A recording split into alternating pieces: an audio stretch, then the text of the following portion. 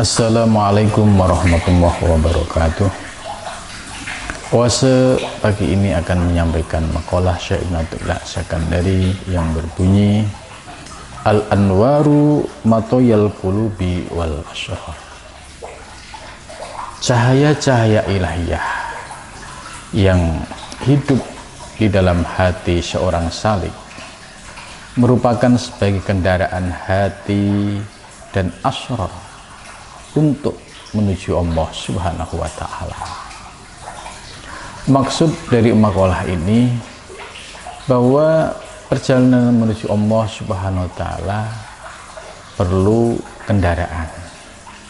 Sedangkan kendaraan hati dan asror untuk mencapai usul ilallah Subhanahu wa taala yaitu al-anwar al-ilahiyah yaitu cahaya-cahaya ketuhanan.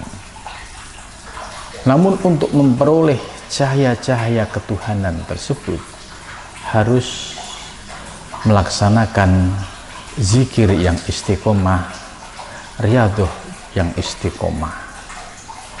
Tanpa mau melaksanakan zikir yang istiqomah dan riadoh mujahadah yang istiqomah, niscaya akan sulit hati ini akan bercahaya.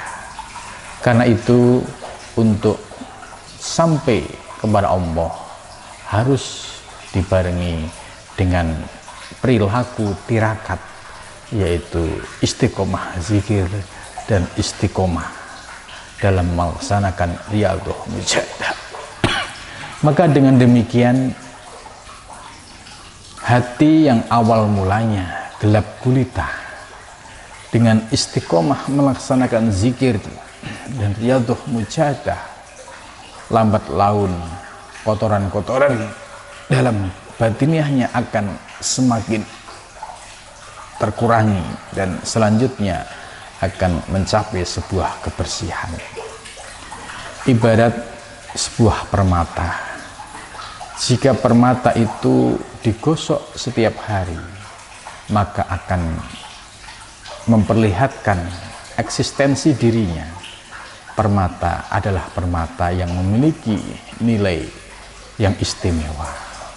Sedangkan batu sekalipun digosok berkali-kali dia akan tetap batu. Dan nilainya juga tidak seperti permata. Maka di dalam diri kita ada sebuah permata yang perlu kita jaga kebersihannya yaitu hati kita.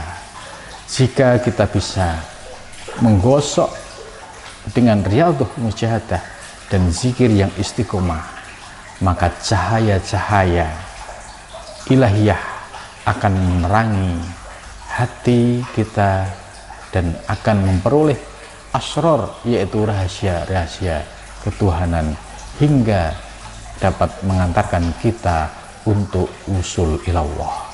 Mudah-mudahan kita diberikan kekuatan lahir dan batin untuk membersihkan kotoran-kotoran batin sehingga muncullah cahaya-cahaya batiniah yang dapat menyampaikan kita kepada Allah Subhanahu wa taala.